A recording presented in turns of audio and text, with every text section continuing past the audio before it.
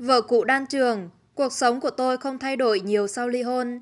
Thủy Tiên vừa đăng tải video lên trang cá nhân, trải lòng về cảm xúc của cô sau tuyên bố ly hôn với ca sĩ đan trường. Nói về thông báo ly hôn gây xôn xao với đan trường, Thủy Tiên chia sẻ, Thời gian qua tôi nhận được rất nhiều lời hỏi thăm, động viên từ gia đình, bạn bè và khán giả.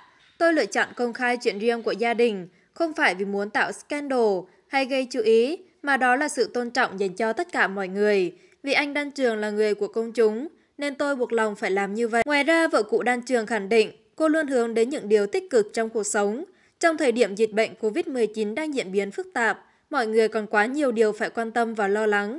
Thủy Tiên cho rằng chuyện riêng của gia đình mình là một điều rất nhỏ nhoi, không quan trọng bằng việc chống dịch. Cô khẳng định bản thân và con trai thiên tử vẫn ổn, hy vọng khán giả không quá buồn hay lo lắng. Tôi và anh Trường đã cùng trải qua một giai đoạn đẹp. Điều tốt đẹp nhất mà tôi có là một đứa con, là bé Thiên Tử. Thành thực mà nói, hiện tôi và Thiên Tử đều rất ổn. Chúng tôi không có quá nhiều thay đổi trong cuộc sống đời thường. Tôi mong khán giả đừng lo lắng hay buồn về chuyện riêng của gia đình tôi nữa.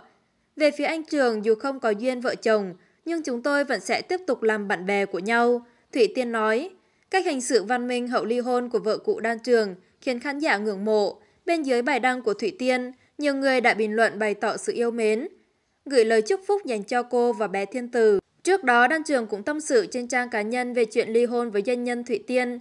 Đan Trường vận ổn mọi người à. Đan Trường biết mọi người thương yêu và quan tâm đến chuyện của Đan Trường và Thụy Tiên.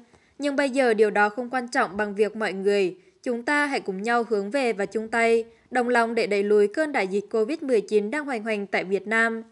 Đan Trường kết hôn với doanh nhân Việt Kiều Thụy Tiên năm 2013.